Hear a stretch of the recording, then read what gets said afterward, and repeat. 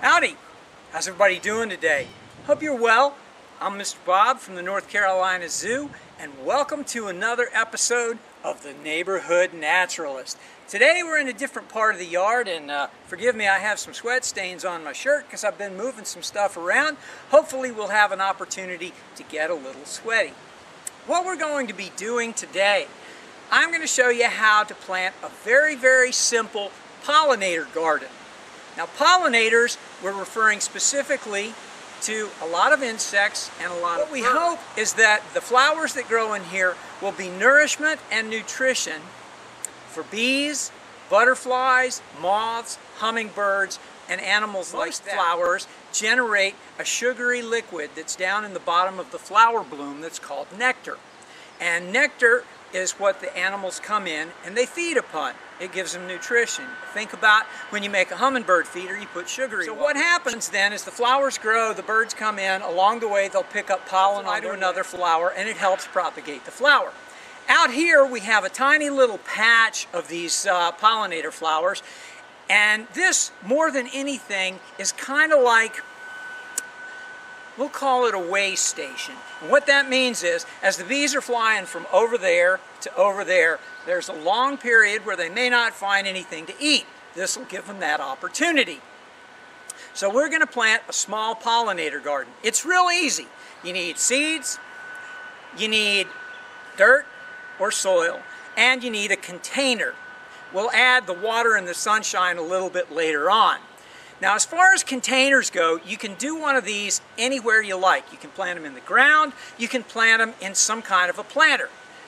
Mr. Bob is incredibly thrifty. I don't like necessarily throwing things away that still have a useful life. Uh, in many instances, I am accused, rightly so, of doing something known as upcycling. And upcycling means this. I grabbed something like these pots right here. They come into the zoo greenhouse and normally they're targeted for recycling. Before they get recycled or discarded, I'll turn them into a planter and give them another crack at a useful life. Now, this one would be very, very small. The one we're actually going to be planting today is this interesting green item behind me. You see, one of my neighbors was actually in the process of tossing out this turtle sandbox. And it doesn't have the lid anymore. Many of you are familiar with this sandbox. So I decided rather than letting it go to the landfill, let's make a planter out of it. So I grabbed it, brought it home, and now I'm going to turn this into a planter. I did have to do a little preparation, and you may need some help with this part. Normally the sandboxes like this are solid on the bottom, and planters benefit from having holes in them so that excess water can run out. That actually happens uh, in flower areas in the ground. The water that the, uh, the flowers don't absorb, rather than drowning the roots, it seeps on down into the ground and recharges the groundwater. So I actually grabbed the cordless drill and put a uh, pretty large bit in it, drill some holes in the bottom of these. I'll show you when I walk over there.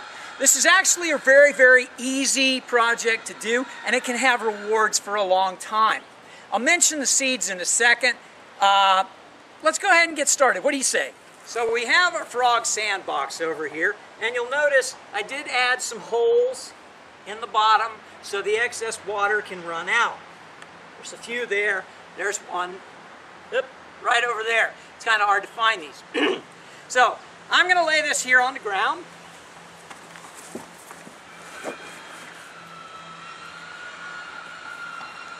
That's our container. That's our flower bed. Over here, in these two yellow bags, uh, I actually have some garden soil. I get this from the local home and garden center. It costs about $8 a bag. Sometimes I'll mix it with the local soil. We have a lot of clay here in this part of Randolph County. So for this one, I'm just going to use the straight stuff right out of the bag. If I have to get into the second bag, it'll take me a second to open that up. Bear with me.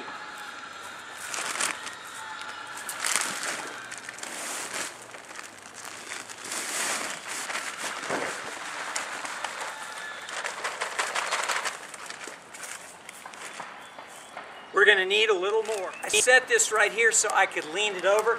These bags weigh about 40 to 50 pounds. And these have been out in the rain, so they tend to be a little bit on the wet side. That makes them even heavier.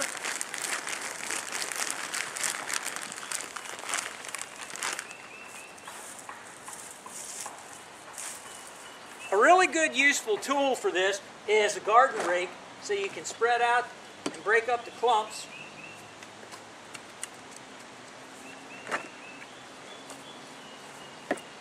that nice dark soil, that says I have lots of nutrients. Pack it down a little bit, just like that.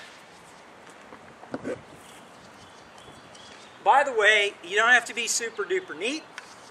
You can slop a little over the sides and that's perfectly fine.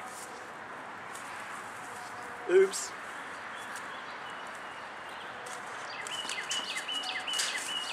Okay, plants that can go into your pollinator garden. I went over to the home and garden store. It's not far from here. Picked up these. They cost about $5 a packet. What you want to look for. These say right here, wildflower, bird, and bee mixed. You don't have to necessarily know what kind of flowers they're going to be. The reason I have two different packages, one says the flowers emerge in 42 days. That means they'll be ready to bloom in about a month and a half. The other one, make sure I have the right one, uh, this one has plants that emerge about 70 days. That means this is going to be about two and a half months. So these will come out later. Most of these will bloom all summer. So we'll take our seeds and we'll spread them in here and then I'll show you what I'm going to do with the rest of the dirt.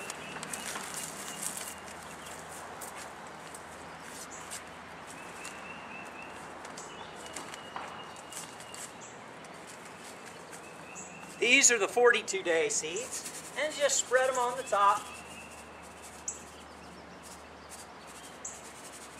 like this. Not even going to use the whole package. These are the 70 day seeds.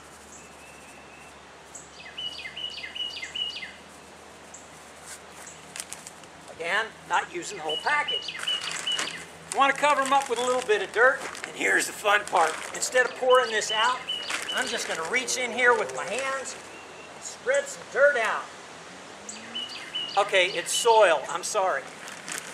You're right.